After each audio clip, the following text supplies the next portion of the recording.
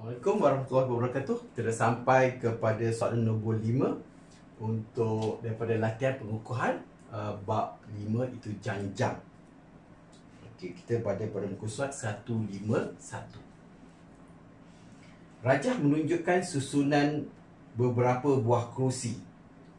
Tinggi setiap kerusi ialah 80 cm. Apabila kerusi disusun, Okay, disusun tu maksudnya disusun seperti dalam gambar raja. Iaitu diletakkan kursi, satu kursi di atas kursi yang lain. Okay, apabila kursi disusun, terdapat ruang sebanyak 4 cm antara dua buah kerusi. Jadi, berapa susunan kursi? Okay, cikgu buat melukis ni memang fail sikit. Okay, kursi cikgu simple je. Okey, kursi pertama. Kursi pertama ni tinggi dia adalah 80 cm. Okey, lepas tu kursi kedua akan diletakkan atas kursi pertama dengan jarak ataupun terdapat ruang sebanyak 4 cm antara dua buah kursi. Maknanya kursi kedua letak atas tu dia akan terdapat sikit jarak, jarak di apa? 4 cm di sini. Uh, sini 4 cm. Ni kursi kedua lah. Sebab dia duduk atas tu. Dan seterusnya ada 4 cm.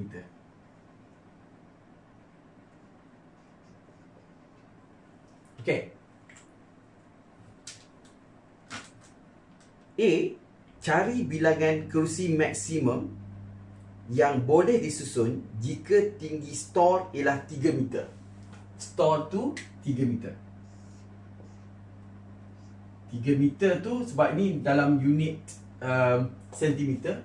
Yang ni kita kata 300 sentimeter. Jadi berapa banyak? Okay, jadi susunan dia tu kamu kena tahu yang mula-mula uh, 80 uh, kemudian akan jadi 84 88 dan dot dot dot uh, cikgu tak pasti dia akan ada 300 atau tak ada. Jadi dia kita itu kita kena check lah sama ada boleh sampai 300 atau tidak. Okey, jadi kalau sampai 300 ada dinding pula. Okey, jadi masalah lah. Okey, jadi kita tak boleh menyentuh dinding tersebut lah. Okey, jadi kita nak check yang tu. Um,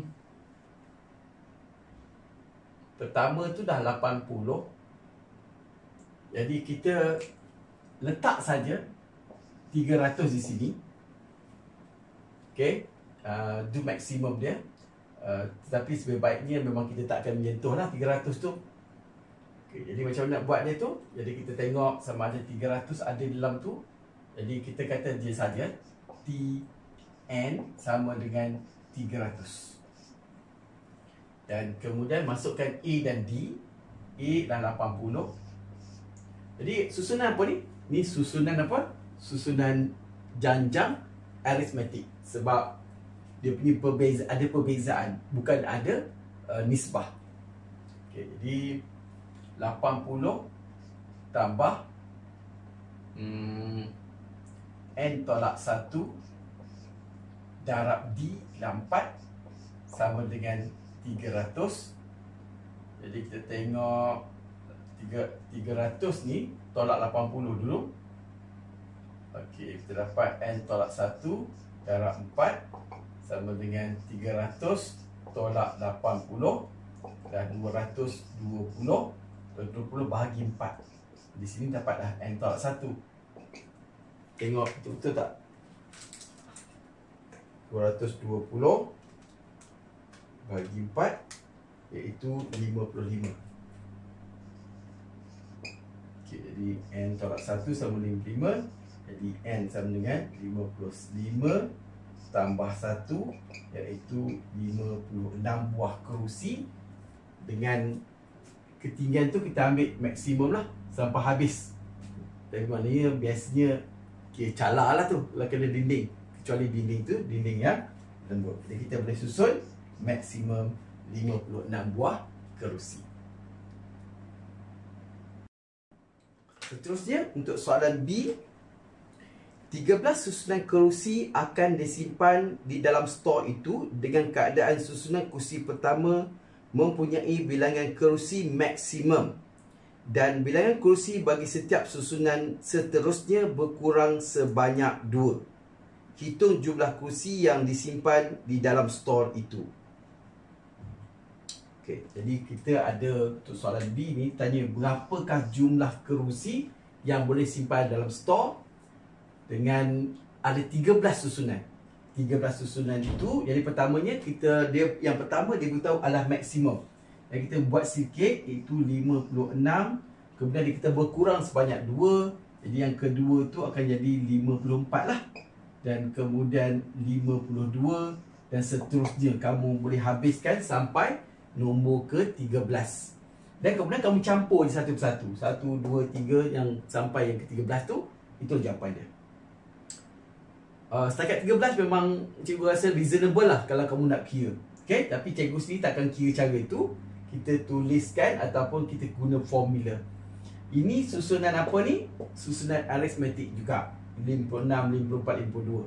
Okay? Jadi dia betul ada 13. Jadi itu adalah boleh katakan S13 lah. Jadi formula uh, bagi hasil tambah iaitu N per 2, 2A tambah N tolak 1 darab D.